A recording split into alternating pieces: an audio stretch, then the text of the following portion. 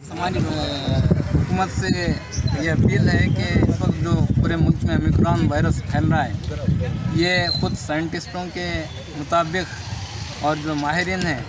उनके मुताबिक जो है ये डेल्टा वेरिएंट के मुकाबले में जो है ज़्यादा ख़तरनाक नहीं है,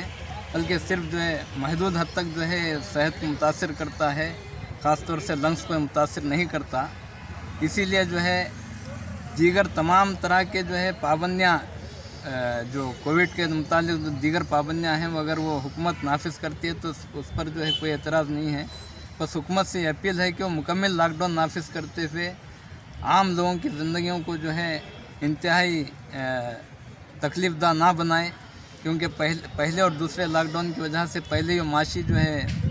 लिहाज से बहुत ही परेशान है। लिहाजा हम एक बार फिर अपील करते हैं कि हुकूमत से कि वो मुकम्मल लॉकडाउन नाफिज करते हुए लोगों को जो है खाम खा के माशी दुशारियों से मज़ीद जो है माशी दुशारियों में मज़ीद मुबतला ना करें। आपका नाम? सैयद अंसार से